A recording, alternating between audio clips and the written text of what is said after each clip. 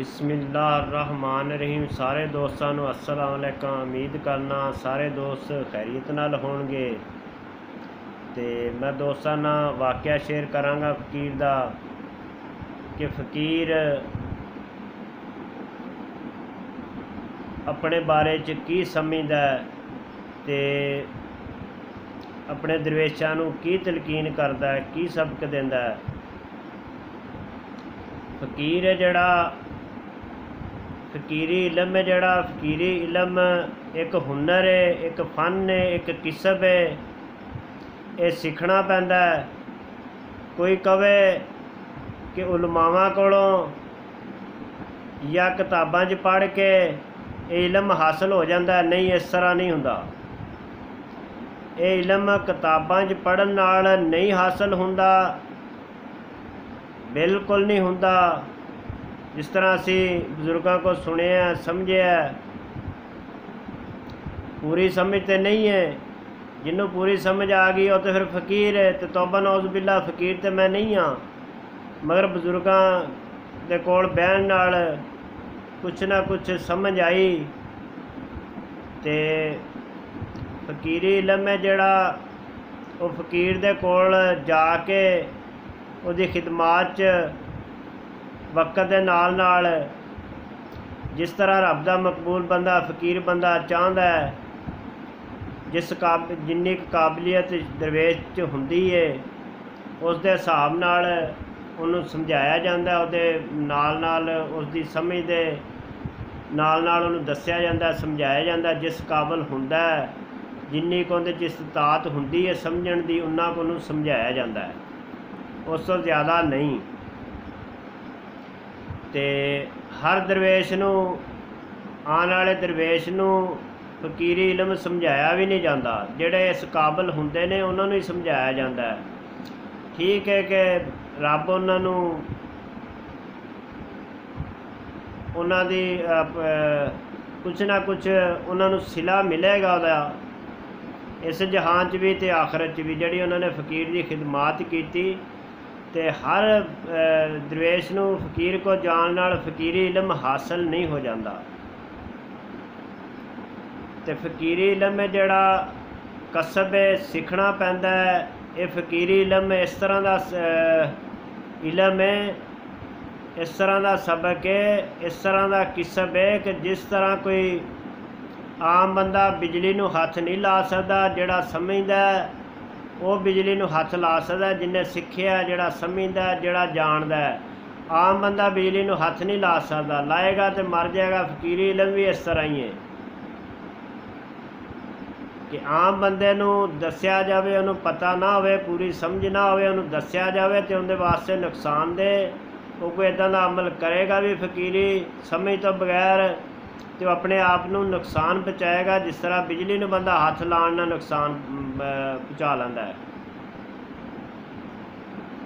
ਫਕੀਰੀ ਇਲਮ ਹੈ ਜਿਹੜਾ, ਫਕੀਰ ਕੀ ਫਰਮਾਉਂਦੇ ਨੇ ਬਜ਼ੁਰਗ ਇਸ ਇਲਮ ਦੇ ਮੁਤਲਕ ਕਿ ਇਸ ਜਹਾਨ ਦੇ ਅੰਦਰ ਇਹਦੇ ਚ ਮਜ਼ਹਬ ਬਗੈਰ ਮਜ਼ਹਬ ਦਾ ਜ਼ਿਕਰ ਨਹੀਂ ਆਇਆ।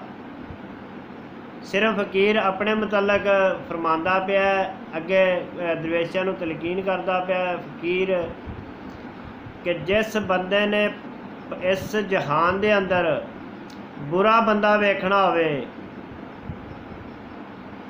ਬੰਦਾ ਨਜ਼ਰ ਮਾਰੇ, ਖਿਆਲ ਕਰੇ, ਇਸ ਜਹਾਨ ਦੇ ਅੰਦਰ ਸਭ ਤੋਂ ਬੁਰਾ ਬੰਦਾ ਵੇਖਣਾ ਹੋਵੇ ਤੇ ਉਹ ਆਪਣੇ ਆਪ ਨੂੰ ਵੇਖ ਲਵੇ।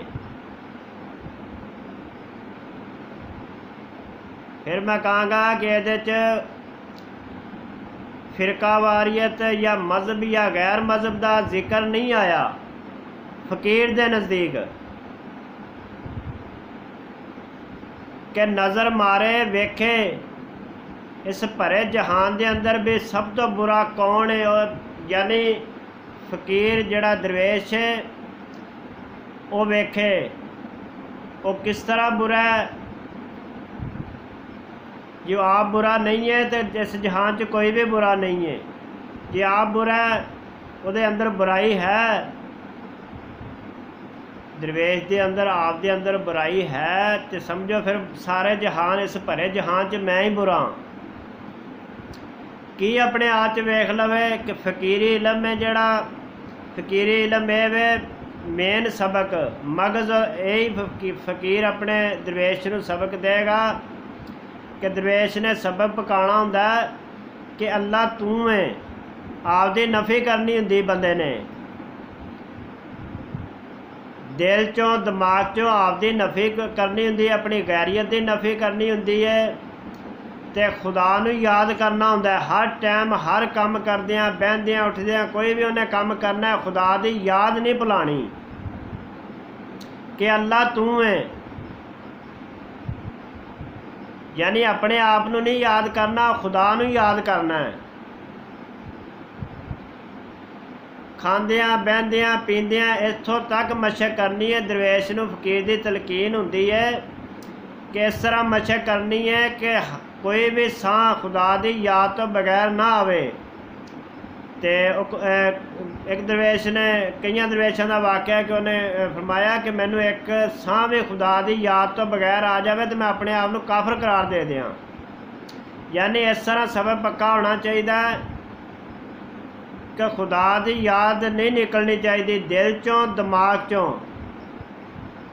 ਇਸ ਤਰੀਕੇ ਨਾਲ ਰੱਬ ਨੂੰ ਯਾਦ ਕਰਨਾ ਹੈ, ਇੰਨੀ ਇਹਦੀ ਮਸ਼ਕ ਕਰਨੀ ਹੈ, ਇੰਨਾ ਇਹ ਸਬਬ ਪਕਾਣਾ ਹੈ ਕਿ ਰਾਤ ਨੂੰ ਸੁੱਤਿਆਂ ਪਿਆਂ ਰਾਤ ਨੂੰ ਸੁੱਤਿਆਂ ਪਿਆਂ ਵੀ ਰੱਬ ਦਾ ਖਿਆਲ ਰਵੇ ਜ਼ਿਹਨ 'ਚ।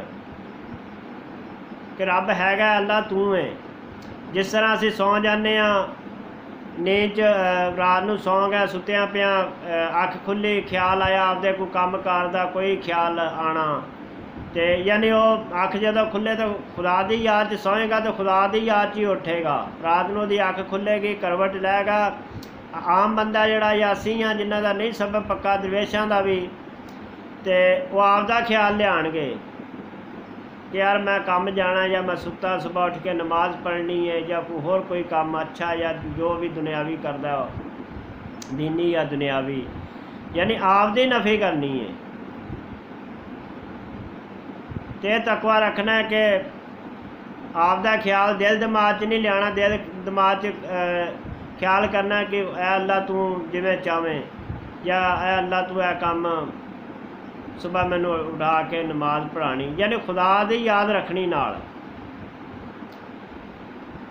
ਕਦੇ ਤਾਂ ਬੰਦਾ ਆਪਣੇ ਆਪ 'ਚ ਵੇਖੇ ਵੀ ਮੈਂ ਖੁਦਾ ਨੂੰ, ਦਰਵੇਸ਼ ਨੂੰ ਫਕੀਰ ਤਲਕੀਨ ਕਰਦਾ ਹੈ ਕਿ ਦੇਖ ਤੂੰ ਆਪਣੇ ਆਪ ਨੂੰ ਕਿ ਤੈਨੂੰ ਸਬਕ ਦਿੱਤਾ ਗਿਆ ਤੂੰ ਸਬਕ ਪਕਾਣਾ ਹੈ, ਤੇਰਾ ਸਬਕ ਇਹ ਵੇ ਵੀ ਖੁਦਾ ਨੂੰ ਯਾਦ ਕਰਨਾ ਹਰ ਟਾਈਮ। ਤੂੰ ਆਪਣੇ ਆਪ 'ਚ ਵੇਖ ਵੀ ਤੂੰ ਸਬਕ ਕਿੰਨਾ ਕੁ ਯਾਦ ਕਰਨਾ ਹੈ, ਕਿੰਨਾ ਕੁ ਪਕਾ ਲਿਆ ਕੀ ਕਰਨਾ ਹੈ।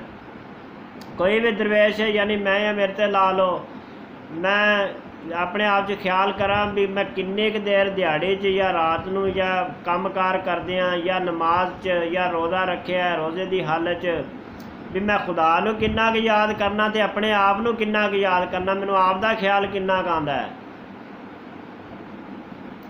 ਵੀ ਕਦੇ ਤੇ ਮੈਂ ਖਿਆਲ ਕਰਨਾ, ਹਰ ਬੰਦਾ ਹੀ ਰੱਬ ਦਾ ਖਿਆਲ ਕਰਦਾ ਹੈ ਤੇ ਯਾਨੀ ਇਹ ਆਪਣੇ ਆਪ 'ਚ ਆਪਣੇ ਜ਼ਮੀਰ ਨਾਲ ਆਪਣੇ ਅੰਦਰ ਇਹ ਨਜ਼ਰ ਮਾਰਨੀ ਵੀ ਮੈਂ ਕਿੰਨੀ ਕੁ ਦੇਰ ਖੁਦਾ ਨੂੰ ਯਾਦ ਕਰਨਾ। ਵੀ ਕਦੇ ਤਾਂ ਮੈਂ ਕਹਿੰਨਾ ਵੀ ਅੱਲਾ ਤੂੰ ਹੈ, ਸਾਰਾ ਕੁਝ ਤੂੰ ਹੀ ਕਰਵਾਉਣਾ ਹੈ। ਤੇ ਤੇ ਅੱਲਾ ਤੇਰੀ ਮਦਦ ਨਾਲ ਹੀ ਹੁੰਦਾ ਮੈਂ ਤੇ ਕੁਝ ਨਹੀਂ ਕਰ ਸਕਦਾ। ਤੇ ਤੇਰੀ ਮਰਜ਼ੀ ਨਾਲ ਹੀ ਹੁੰਦਾ ਜਿਸ ਤਰ੍ਹਾਂ ਤੂੰ ਚਾਹਨਾ ਉਸ ਤਰ੍ਹਾਂ ਹੀ ਹੁੰਦਾ ਤੇ ਜਿੱਧਰ ਤੂੰ ਮੈਨੂੰ ਚਲਾਏਗਾ, ਮੈਂ ਉਧਰ ਹੀ ਚੱਲਾਂਗਾ ਤੇ ਅੱਲਾ ਤੂੰ ਮੈਨੂੰ ਤੇ ਰਹਿਮਤ ਕਰ, ਤੂੰ ਮੈਨੂੰ ਨੇਕ ਹਦਾਇਤ ਦੇ ਨਮਾਜ਼ ਰੋਜ਼ਾ, ਮੈਂ ਚੰਗੇ ਕੰਮ ਕਰਾਂ, ਬੁਰੇ ਨਾ ਕਰਾਂ। ਵੀ ਕਿੰਨੇ ਕੁ ਦੇਰ ਖਿਆਲ ਕਰਨਾ? ਵੀ ਕਦੇ ਤੇ ਕਹਿ ਲਿਆ ਅੱਲਾ ਤੂੰ ਹੈ ਕਦੇ ਰੱਬ ਨੂੰ ਲੈ ਵਿੱਚ ਕਿ ਅੱਲਾ ਤੂੰ ਹੈ ਤੇ ਕਦੇ ਕਿਹਾ ਨਹੀਂ ਮੈਂ ਆ। ਯਾਨੀ ਸਭ ਤੋਂ ਬੁਰਾ ਬੰਦਾ ਉਹ ਵੇ ਇਹ ਦਰਵੇਸ਼ ਨੂੰ ਫਕੀਰ ਤਲਕੀਨ ਕਰਦਾ ਹੈ ਕਿ ਸਭ ਤੋਂ ਇਸ ਜਹਾਨ ਦੇ ਅੰਦਰ ਸਭ ਤੋਂ ਬੁਰਾ ਬੰਦਾ ਇਹ ਵੇ ਕਿ ਜਿਹੜਾ ਕਦੇ ਕਹਿੰਦਾ ਕਦੇ ਕਹਿੰਦਾ, ਅੱਲਾ, ਤੂੰ ਹੈ ਤੇ ਕਦੇ ਕਹਿੰਦਾ ਨਹੀਂ, ਮੈਂ ਆ ਇਸ ਜਹਾਨ ਦੇ ਅੰਦਰ ਸਭ ਤੋਂ ਬੁਰਾ ਬੰਦਾ ਇਹ ਵੇ। ਤੇ ਇਸ ਤਰ੍ਹਾਂ ਫਕੀਰ ਦਰਵੇਸ਼ ਨੂੰ ਇਹ ਤਲਕੀਨ ਕੀਤੀ ਜਾਂਦੀ ਹੈ ਤੇ ਪੂਰੀ ਸਮਝ ਤੇ ਮੈਨੂੰ ਵੀ ਨਹੀਂ, ਦੋਸਤ ਸੁਣਨ ਵਾਲੇ ਇਸ ਗੱਲ ਨੂੰ ਸਮਝਣ ਤੇ ਅੱਲਾ ਸਾਡੇ ਤੇ ਰਹਿਮਤ ਕਰੇ ਕਿ ਮੈਂ ਜਾਂ ਕੋਈ ਇਹ ਗੱਲ ਸੁਣਨ ਵਾਲਾ ਇਹਦਾ ਕੋਈ ਗਲਤ ਮਗਜ਼ ਨਾ ਕਰ ਲਵੇ।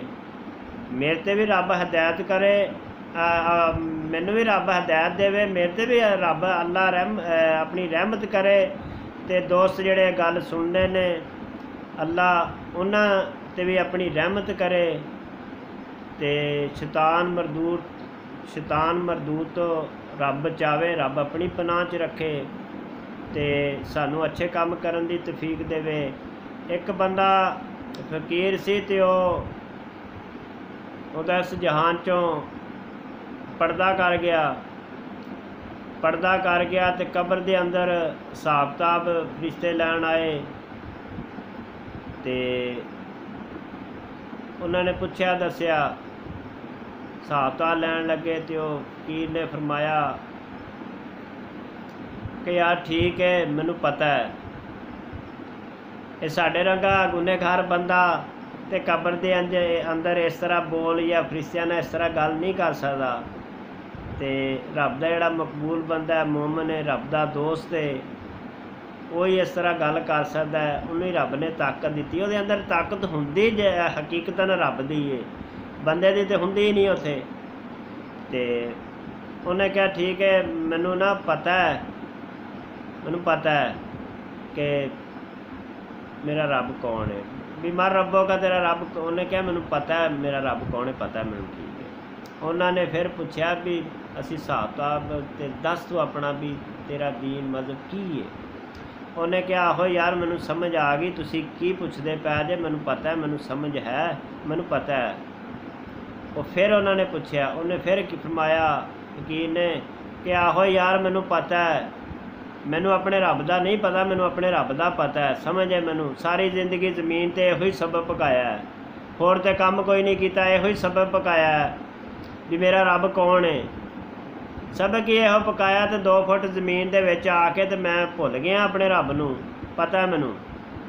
ਉਹ ਫਰਿਸ਼ਤੇ, ਹੁਣ ਆਮ ਬੰਦਾ ਤੇ ਗੱਲ ਨਹੀਂ ਕਰ ਸਕਦਾ ਤੇ ਉਹ, ਮਾਰਨਗੇ ਫਰਿਸ਼ਤੇ ਜਾਂ ਆਮ, ਜ਼ਰੂਰਤ ਹੀ ਨਹੀਂ ਪੈਂਦੀ ਯਾਨੀ ਕਬਰ ਦਾ ਖੌਫ ਬੰਦਾ, ਆਮ ਬੰਦਾ ਤੇ ਨਹੀਂ ਬੋਲ ਸਕਦਾ।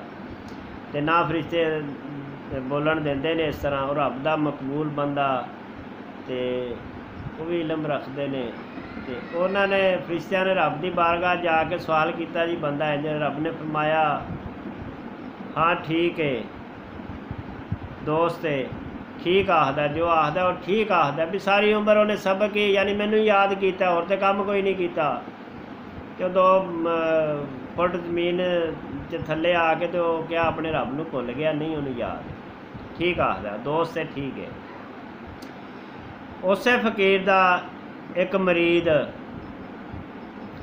ਸਾਦਾ ਬਿਲਕੁਲ ਮੋਟੇ ਜਿਹਾ ਮੋਟੀ ਜੀ ਅਕਲ ਦਾ, ਜ਼ਿਆਦਾ ਹੀ ਮੋਟੀ ਅਕਲ ਦਾ ਕਿ ਜਿਹਨੂੰ ਜਿਵੇਂ ਇੱਥੇ ਇਸ ਜਹਾਨ ਦੇ ਵਿੱਚ ਕੁਝ ਬੰਦੇ ਹੁੰਦੇ ਨੇ, ਉਹਨਾਂ ਨੂੰ ਏਡੀ ਕੋ ਜਿਵੇਂ ਸਿਆਣਾ ਬੰਦਾ ਹੁੰਦਾ ਸਿਆਣਪਤ ਨਹੀਂ ਹੁੰਦੀ ਕੋ ਮਾਲ ਦੌਲਤ ਦੀ ਨਹੀਂ ਹੁੰਦੀ ਕੋ ਮੀਆਂ ਬੀਵੀ ਬੱਚੇ ਦੀ ਨਹੀਂ ਹੁੰਦੀ, ਤੇ ਬਸ ਐਵੇਂ ਹੀ ਵਿਹਲੇ ਜਿਹੇ ਬੰਦੇ ਹੁੰਦੇ ਨੇ, ਜਿਵੇਂ ਜਹਾਨ 'ਚ ਕਿਹਾ ਤੋਬਾ ਨੌਜ਼ ਬਿੱਲਾ ਉਹ ਸਾਰੇ ਕੰਮਕਾਰ ਉਹਨਾਂ ਨੂੰ ਹੀ ਹੁੰਦੇ ਨੇ, ਬਾਕੀ ਸਾਰਾ ਜਹਾਨ ਵੇਲਾ ਜਿਹੜਾ ਇਸ ਤਰ੍ਹਾਂ ਦਾ ਬੰਦਾ ਹੈ, ਮੋਟੀ ਅਕਲ ਦਾ ਜਾਂ ਇਸ ਤਰ੍ਹਾਂ ਫਕੀਰ ਦੇ ਕੋਲ ਚਲਾ ਗਿਆ, ਉਹ ਸਾਰੇ ਕੰਮਕਾਰ ਉਹੀ ਹੁੰਦਾ, ਉਹਦੀ ਬਰਕਤ ਨਾਲ ਹੀ, ਉਹਦੀ ਬਦੌਲਤ ਨਾਲ ਹੀ ਇਹ ਸਾਰਾ ਸਿਸਟਮ ਹੈ। ਇਹਨਾਂ ਬੰਦਿਆਂ ਦੇ ਸਦਕੇ ਹੀ ਰੱਬ ਸਾਰਾ ਕੁਝ ਅਮਨ ਮਾਨ ਤੇ ਸਾਰਾ ਕੁਝ ਰੱਬ ਵੇਖਦਾ ਹੈ।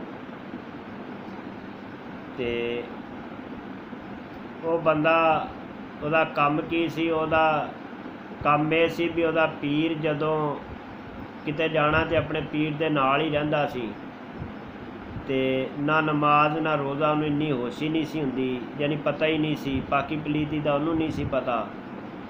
ਤੇ ਜਿੱਥੇ ਉਹਦੇ ਪੀਰ ਨੇ ਜਾਣਾ ਜਿੱਥੇ ਬਹਿਣਾ ਜੁੱਤੀਆਂ ਲਾਣੀਆਂ ਉਹਦੇ ਪੀਰ ਨੇ ਤੇ ਉਹਨੇ ਜੁੱਤੀਆਂ ਫੜਨੀਆਂ ਨੇ ਤੇ ਆਪਣੀ ਝੋਲੀ 'ਚ ਰੱਖ ਲੈਣੀਆਂ ਨੇ।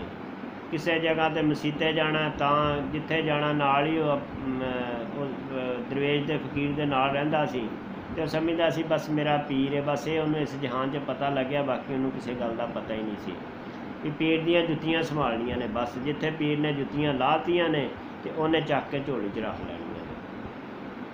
ਤੇ ਪੀਰ ਨੇ ਆਣਾ ਤੇ ਉਹਨੇ ਜੁੱਤੀਆਂ ਪੈਰਾਂ 'ਚ ਰੱਖ ਦੇਣੀਆਂ ਪੀਰ ਦੇ ਤੇ ਪੀਰ ਨੇ ਜੁੱਤੀਆਂ ਪਾ ਲੈਣੀਆਂ। ਉਹਨੂੰ ਕੋ ਰੋਕਦਾ ਸੀ ਤਾਂ ਨਹੀਂ ਸੀ ਰੁਕਦਾ, ਬਸ ਉਹਨੂੰ ਇੱਕ ਜਿਵੇਂ ਕੋਈ ਨਸ਼ਾ ਲੱਗ ਜਾਂਦਾ ਹੈ ਤੇ ਰੱਬ ਦੀ ਕੁਦਰਤ ਤੇ ਖੁਦਾ ਜਿਹਨੂੰ ਜਿੱਧਰ ਲਾਵੇ, ਦਿਲ ਕਲੂਬ ਇੱਕ ਮਕਨਾਤੀਸ ਹੈ, ਜਿੱਧਰ ਖੁਦਾ ਚਾਹੁੰਦਾ ਉਧਰ ਲਾ ਦਿੰਦਾ ਹੈ। ਉਹ ਆਪੇ ਖਿਚਿੰਦਾ ਜਾਂਦਾ ਹੈ। ਜਿਹਦਾ ਰੱਬ ਦਿਲ ਆਪਣੇ ਵੱਲ ਖਿਚਾਓ ਕਰਦਾ ਹੈ, ਉਹ ਮਕਨਾਤੀਸ ਜਿਵੇਂ ਲੋਹਾ ਮਕਨਾਤੀਸ ਖਿੱਚ ਲੈਂਦਾ ਹੈ। ਇਸੇ ਤਰ੍ਹਾਂ ਖੁਦਾ ਜਿਹਨੂੰ ਚਾਹੁੰਦਾ ਜਿਹਦੇ ਤੇ ਖੁਦਾ ਆਪਣੀ ਰਹਿਮਤ ਕਰਦਾ ਹੈ, ਉਹ ਖੁਦਾ ਉਹ ਖੁਦਾ ਦੇ ਵੱਲ ਉਹਦਾ ਦਿਲ ਦਿਮਾਗ ਜਿਹੜਾ ਖਿਚਿੰਦਾ ਖੁਦਾ ਵੱਲ ਯਾਨੀ ਖੁਦਾ ਨੂੰ ਯਾਦ ਕਰਦਾ ਬੰਦਾ, ਹੋਰ ਉਹਨੂੰ ਨਹੀਂ, ਬਸ ਖੁਦਾ ਵੱਲ ਹੀ ਜਾਂਦਾ ਉਹਦਾ। ਯਾਨੀ ਖਿੱਚ ਲੈਂਦਾ, ਜਿਵੇਂ ਮਕਨਾਤੀਸ ਲੋਹੇ ਨੂੰ ਆਪਣੇ ਵੱਲ ਖਿੱਚ ਲੈਂਦਾ ਉਹ ਉਹ ਜੁੱਤੀਆਂ ਝੋਲੀ 'ਚ ਰੱਖਣ ਵਾਲਾ ਦਰਵੇਸ਼ ਸੀ ਜਿਹੜਾ ਉਹਦਾ ਇੰਤਕਾਲ ਹੋ ਗਿਆ। ਫਰਿਸ਼ਤੇ ਆਏ ਉਹਦੇ ਕੋਲੋਂ ਹਿਸਾਬ ਲੈਣ। ਉਹਨਾਂ ਨੇ ਪੁੱਛਿਆ ਮਰ ਰੱਬੋ ਕੌਣ ਨੇ ਕਿਹਾ, ਯਾਰ, ਮੈਨੂੰ ਕਿਸੇ ਗੱਲ ਦਾ ਨਹੀਂ ਪਤਾ। ਮੈਂ ਗੱਲਾਂ ਨਹੀਂ ਜਾਣਦਾ। ਉਹਨਾਂ ਨੇ ਫਿਰ ਪੁੱਛਿਆ ਉਹ ਯਾਰ ਤੇਰਾ ਦੱਸ ਰੱਬ, ਉਹ ਫਰਿਸ਼ਤਿਆਂ ਨੇ ਆਪਸ 'ਚ ਗੱਲਬਾਤ ਕੀਤੀ ਵੀ ਇਹਨੂੰ ਕੀ ਪਤਾ ਹੋਣਾ, ਇਹਨੇ ਨਾ ਕਦੀ ਨਮਾਜ਼ ਪੜ੍ਹੀ, ਨਾ ਰੋਜ਼ਾ ਤੇ ਨਾ ਇਹਨੂੰ ਪਾਕੀ ਪਲੀਤੀ ਦਾ ਪਤਾ। ਉਹਨੇ ਅੱਗੋਂ ਉਹ ਆਪਸ 'ਚ ਗੱਲ ਕਰਨ ਲੱਗੇ ਤੇ ਉਹ ਦਰਵੇਸ਼ ਫਿਰ ਬੋਲਿਆ, ਉਹਨੇ ਕਿਹਾ, ਹਾਂ, ਠੀਕ ਹੈ, ਮੈਨੂੰ ਕਿਸੇ ਗੱਲ ਦਾ ਨਹੀਂ ਪਤਾ, ਨਾ ਮੈਨੂੰ ਪਾਕੀ ਪਲੀਤੀ ਦਾ ਪਤਾ, ਕਿਸੇ ਗੱਲ ਦਾ ਨਹੀਂ ਪਤਾ। ਉਹ ਫਰਿਸ਼ਤਿਆਂ ਨੇ ਪੁੱਛਿਆ ਤੈਨੂੰ ਕੋਈ ਦੁਨੀਆ ਜਾਣ ਦਾ ਕੋਈ ਰੱਬ ਨੇ ਤੈਨੂੰ ਭੇਜਿਆ, ਕੋ ਮਕਸਦ ਸੀ? ਤੇ ਤੂੰ ਸਾਰੀ ਜ਼ਿੰਦਗੀ ਕੀ ਕੀਤਾ? ਕੀ ਕਰਨ ਆਇਆ ਸੀ ਦੁਨੀਆ 'ਚ? ਕਾਹਦੇ ਲਈ ਤੈਨੂੰ ਰੱਬ ਨੇ ਭੇਜਿਆ ਸੀ? ਉਹਨੇ ਕਿਹਾ, ਯਾਰ, ਮੈਨੂੰ ਕਿਸੇ ਗੱਲ ਦਾ ਨਹੀਂ ਪਤਾ। ਬਸ ਮੈਨੂੰ ਇੰਨਾ ਹੀ ਪਤਾ ਵੀ ਮੈਂ ਆਪਣੇ ਪੀਰ ਦੀਆਂ ਜੁੱਤੀਆਂ ਸੰਭਾਲੀਆਂ ਨੇ ਸਾਰੀ ਜ਼ਿੰਦਗੀ। ਇਹੋ ਹੀ ਜ਼ਮੀਨ ਤੇ ਕੰਮ ਕੀਤਾ, ਇਸ ਤੋਂ ਸਿਵਾ ਮੈਂ ਹੋਰ ਕੰਮ ਕੀਤਾ ਕੋਈ ਨਹੀਂ। ਬਸ ਇੰਨਾ ਹੀ ਪਤਾ, ਮੈਨੂੰ ਬਾਕੀ ਨਹੀਂ ਪਤਾ। ਉਹ ਫਰਿਸ਼ਤਾ ਨੇ ਉਹਨੂੰ ਡਰਾਇਆ ਡਰੋਇਆ ਤੇ ਮੁਨਕਰ ਨਕੀਰਾ ਨੇ ਉਹਨੇ ਕਿਹਾ, ਯਾਰ ਮੈਂ ਕਹਿੰਦਾ ਵੀ ਮੈਨੂੰ ਨਹੀਂ ਪਤਾ, ਮਾਰੋ ਕੁੱਟੋ, ਜੋ ਤੁਹਾਡਾ ਦਿਲ ਹੈ ਤੁਸੀਂ ਕਰੋ। ਇਹ ਤੁਹਾਨੂੰ ਪਤਾ ਮੈਨੂੰ ਨਹੀਂ ਪਤਾ। ਮਾ- ਮੋਟੀ ਅਕਲ ਦਾ ਸੀ। ਮਾਰੋ ਕੁੱਟੋ, ਜੋ ਮਰਜ਼ੀ ਕਰੋ, ਮੈਨੂੰ ਕੀ ਪਤਾ ਮਾਰ ਕੀ ਹੁੰਦੀ ਏ, ਕੁੱਟ ਕੀ ਹੁੰਦੀ ਏ। ਗੁਰਜ ਮਾਰੋ ਇੱਥੇ ਬੈਲਟ ਮਾਰੋ, ਜੋ ਮਰਜ਼ੀ ਮਾਰੋ। ਮੈਨੂੰ ਕਿਸੇ ਗੱਲ ਦਾ ਪਤਾ ਹੀ ਨਹੀਂ, ਸਿਰਫ ਪੀਰ ਦੀਆਂ ਜੁੱਤੀਆਂ ਮੈਂ ਸੰਭਾਲਦਾ ਝਾਂਸਾਂ ਉਹਦੇ 'ਚ ਕੋਈ ਕਮੀ ਕੀ, ਕਮੀ ਪੇਸ਼ੀ ਹੋਈ ਹੈ, ਕੋਈ ਗਲਤੀ ਕੁਤਾਈ ਹੋਈ ਹੈ ਤੇ ਉਹ ਮੈਨੂੰ ਪੁੱਛੋ। ਉਹਦੀ ਸਜ਼ਾ ਦਿਓ, ਜਿਹੜਾ ਕੰਮ ਮੈਂ ਕੀਤਾ ਹੀ ਨਹੀਂ, ਉਹਨੂੰ ਮੈਨ- ਮੈਨੂੰ ਕਾਹਦੀ ਸਜ਼ਾ ਯਾਨੀ ਉਹਨੇ ਨਾ ਕੋਈ ਅੱਛਾ ਕੀਤਾ, ਨਾ ਕੋਈ ਬੁਰਾ ਕੀਤਾ। ਫਰਿਸ਼ਤਿਆਂ ਨੇ ਰੱਬ ਦੀ ਬਾਰਗਾਹ 'ਚ ਪੇ ਸਵਾਲ ਕੀਤਾ, ਪੇਸ਼ ਹੋਏ। ਜਾਂ ਬਾਰੀ ਤਾਲਾ ਬੰਦਾ ਇਸ ਤਰ੍ਹਾਂ, ਨਾ ਇਹਨੇ ਨਮਾਜ਼, ਨਾ ਰੋਜ਼ਾ ਤੇ ਨਾ ਉਹਨੂੰ ਪਤਾ ਹੀ ਨਹੀਂ, ਉਹ, ਮੰਨਦਾ ਹੀ ਨਹੀਂ ਬਸ ਜੁੱਤੀਆਂ ਦਾ ਸਵਾਦ ਤੇ ਇਹਦਾ ਕੀ ਕੀ ਕੀਤਾ ਜਾਵੇ ਜੀ? ਇਹਦੇ ਲਈ ਕੀ ਹੁਕਮ ਹੈ ਇਸ ਬੰਦੇ ਲਈ? ਤੇ ਮਾਰਕੋਟ ਨੂੰ ਉਹਨੂੰ ਡਰਾਇਆ ਉਹਦੀਆਂ ਵੀ ਅਜੀਬ ਜਿਹਾ ਗੱਲਾਂ ਕਰਦਾ ਉਹ। ਅੱਲਾਹ ਤਾਲਾ ਨੇ ਫਰਮਾਇਆ, ਉਹ ਠੀਕ ਆਖਦਾ ਹੈ। ਉਹ ਠੀਕ ਆਖਦਾ ਇਸ ਜਹਾਨ ਦੇ ਵਿੱਚ ਉਹਨੇ ਕੋਈ ਕੰਮ ਨਹੀਂ ਕੀਤਾ। ਉਹਨੇ ਆਪਣੇ ਪੀਰ ਦੀਆਂ ਜੁੱਤੀਆਂ ਸੰਭਾਲੀਆਂ, ਉਹਨੇ ਕਿਹਾ ਹੋਰ ਕੀ ਅੱਲਾਹ ਤਾਲਾ ਨੇ ਪੁੱਛਿਆ ਵੀ ਹੋਰ ਉਹਨੇ ਕੀ ਕਿਹਾ ਤੁਹਾਨੂੰ? ਉਹਨੇ ਕਿਹਾ ਜੀ, ਉਹ ਕਹਿੰਦਾ, ਪੀਰ ਦੀਆਂ ਜੁੱਤੀਆਂ 'ਚ ਕੋਈ ਗਲਤੀ ਕੁਤਾਈ ਹੋਈ ਹੈ ਤੇ ਉਹ ਦੱਸੋ ਮੈਨੂੰ, ਉਹਦੇ ਪੁੱਛੋ। ਉਹਦੀ ਮੈਨੂੰ ਸਜ਼ਾ ਦਿਓ। ਜੇ ਮੈਂ ਕੋਈ ਗਲਤ, ਉਹਦੇ 'ਚ ਕੋਈ ਕਮੀ ਪੇਸ਼ੀ ਕੀਤੀ ਤਾਂ। ਅੱਲਾਹ ਤਾਲਾ ਨੇ ਫਰਮਾਇਆ, ਉਹਦੇ ਜ਼ਿੰਮੇ ਇਹੀ ਕੰਮ ਲਾਇਆ ਸੀ ਮੈਂ। ਉਹ ਬੰਦਾ ਮੈਨੂੰ ਪਸੰਦ ਆਇਆ। ਮੈਨੂੰ ਪਸੰਦ ਆਇਆ ਤੇ ਮੈਂ ਆਪਣੇ ਦੋਸਤ ਕੋਲ ਨੂੰ ਜਿੱਧਰ ਜਦੋਂ ਖੁਦਾ ਚਾਹੁੰਦਾ ਫਕੀਰ ਦੇ ਕੋਲ ਬੰਦਾ ਜਾਂਦਾ, ਐਵੇਂ ਨਹੀਂ ਜਾਂਦਾ। ਖਾਨੇ ਕਾਬੇ ਮਦੀਨੇ ਸ਼ਰੀਫ ਬੰਦਾ ਜਾਂਦਾ ਤੇ ਖੁਦਾ ਦੀ ਮਰਜ਼ੀ ਨਾਲ ਹੀ ਜਾਂਦਾ। ਬੰਦਾ ਸਮਝੇ ਕਿ ਮੈਂ ਆਪਣੀ ਮਰਜ਼ੀ ਨਾਲ ਚਲਾ ਗਿਆ, ਨਹੀਂ, ਇਸ ਤਰ੍ਹਾਂ ਨਹੀਂ ਹੈ।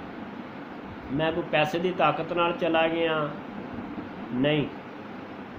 ਪੈਸਾ ਸੀ ਮੇਰੇ ਕੋਲ, ਆਮ ਬੰਦੇ ਜਾਂਦੇ ਨੇ, ਉਹ ਕਹਿੰਦੇ ਨੇ ਪੈਸਾ ਸਾਡੇ ਕੋਲ ਤਾਂ ਨਹੀਂ। ਨਾ ਪੈਸਾ, ਨਾ ਕੋਈ ਤੱਲੇ, ਕੁਛ ਨਹੀਂ। ਖੁਦਾ ਜਿਹਨੂੰ ਚਾਹੁੰਦਾ, ਉਹ ਜਾਂਦਾ ਹੈ।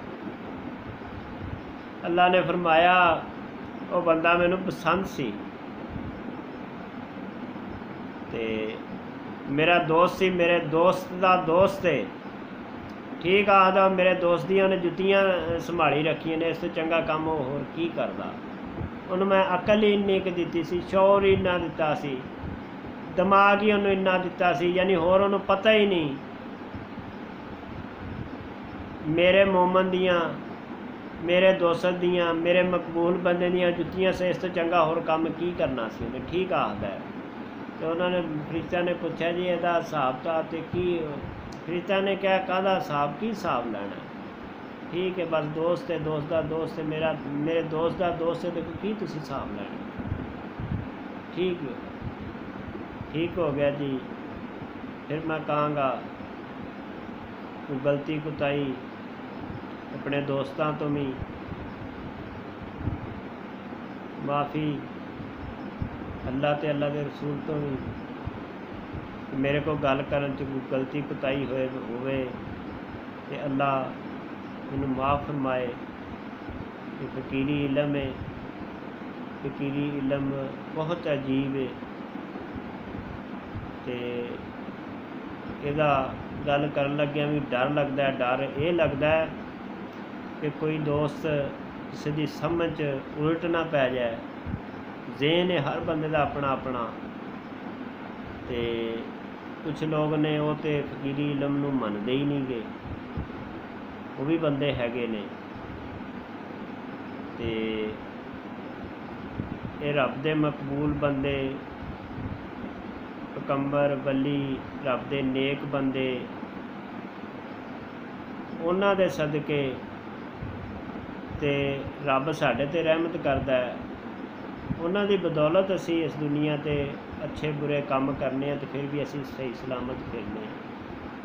ਉਹਨਾਂ ਦੇ ਸਦਕੇ ਰੱਬ ਸਾਡੇ ਤੇ ਰਹਿਮਤ ਕਰਦਾ ਹੈ। ਠੀਕ ਹੋ ਗਿਆ ਜੀ ਸਾਰੇ ਦੋਸਤਾਂ ਨੂੰ। ਅਸਲਾਮ ਅਲੈਕਮ।